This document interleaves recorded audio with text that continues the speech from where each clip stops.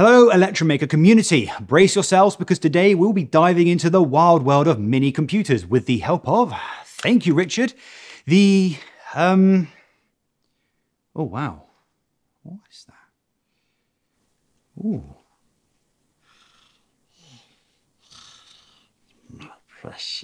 Sorry, uh, the uh, Mini M5 card computer kit. Sorry, uh, something which I personally guarantee will be stolen from this studio because well, just look at it. It's. Sorry.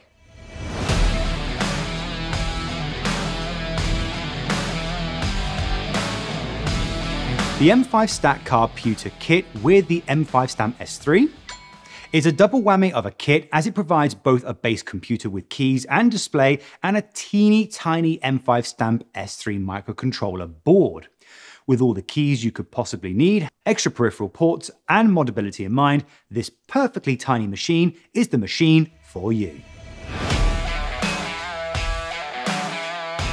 If you are not yet convinced of the awesomeness of this machine, then honestly, you are probably hopeless.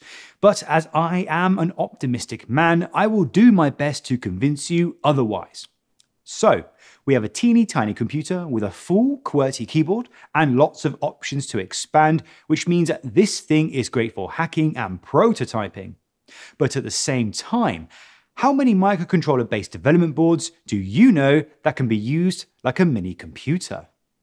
Furthermore, the molded case that this thing comes in feels really nice, it's good and sturdy, and its design just really resonates with me. Mind you, though, I do love retro tech.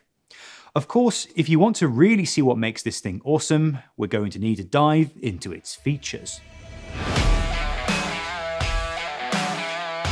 The single most important feature of the Cardputer is its brain, which is an ESP32S3.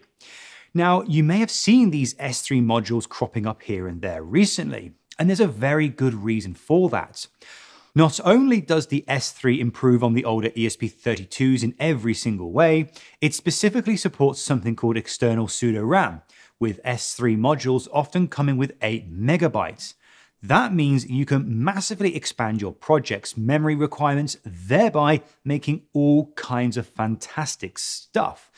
Remember, RAM is often a major factor in microcontroller projects looking to incorporate anything from operating systems, graphics, and AI.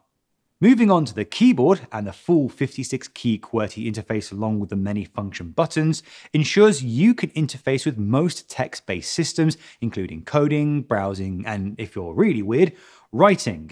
Imagine someone writing an entire essay on this thing.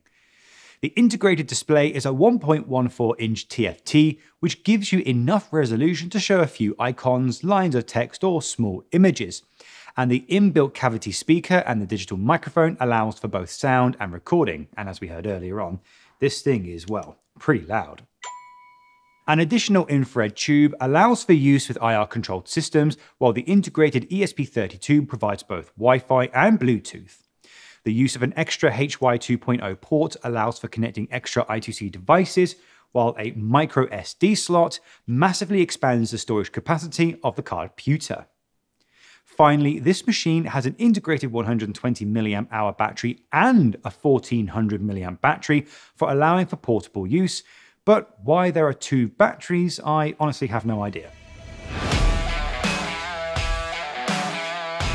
Besides looking absolutely awesome, the Cardputer has plenty of uses. The first project that I can think of is some kind of low-key messaging platform that lets you send messages to other peers entirely encrypted and safe. Basically, it would help you transmit sensitive information without relying on modern services, something that you might find in a near dystopian future.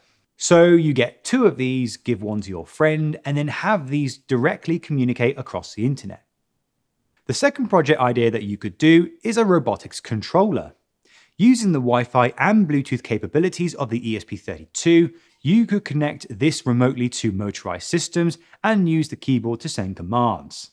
In fact, the keyboard gives you the power of control in many different things in extremely arbitrary ways, whether it's through written commands or by binding each of these keys to a specific action. The third project idea that could be explored would be as a remote hacking device for troubleshooting electronics. Many devices on the market these days utilize system on modules that almost always have some kind of I2C or UART interface. By carrying this little device in your backpack, you could potentially use it to gain entry into these devices just to see what's going on. However, just remember that you should only hack devices that you are allowed to use, not like uh, when I got caught in high school and was banned for an entire year. That was a very hard year for me, doing computer assignments without having access to a computer. So, all in all, we can see that the M5 Stack Cardputer kit with M5 Stamp S3 is an extremely cool kit that has so much potential, whether it's controlling other devices, prototyping with stamp modules, or interfacing with custom circuits.